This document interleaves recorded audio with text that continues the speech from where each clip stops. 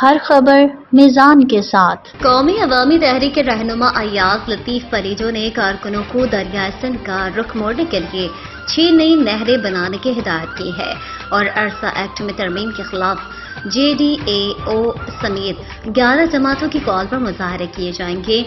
आज सिंध के प्रेस क्लबों के सामने धरना दिया जाएगा। अयाज लतीफ वलीजो ने कहा है कि आसिफ जरदारी वो कर रहे हैं जो जियाउल हक और परवेज मुशर्रफ नहीं कर सके। सिंध के अवाम दरियाए सिंध के खिलाफ साजिश को कभी कामयाब नहीं होने देंगे। छह नई नहरें निकालना और अरसा आय में तरमीम करना सिंध दुश्मनी है। इंडस रिवर सिस्टम में सिंध के मुल्क के लिए काफ़ी पानी नहीं है। समंदर में पानी की कमी के बायस छठा सुजावल और बदीन इजला के लाखों एकड़ इराजी जैर आब आ गई हैं। समर के जंगलात खत्म हो रहे हैं। सिंध को इसके हिस्से का पानी नहीं मिलता, जिसकी वजह से सिंध की जर मीशत तबाह हो रही है। भूख, अफलास और बेरोजगारी में इजाफा हुआ है।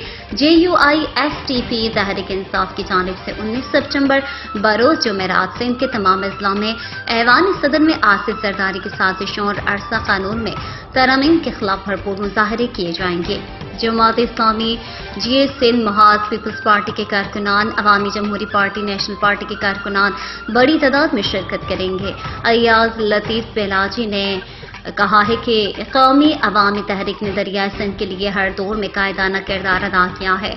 कौमी अवामी तहरीक ने हमेशा सिंध के अवाम और सिंध के मफादात का तहफ़ किया है और सिंध के हकूक़ की जदोजहद को तरजीह दी है।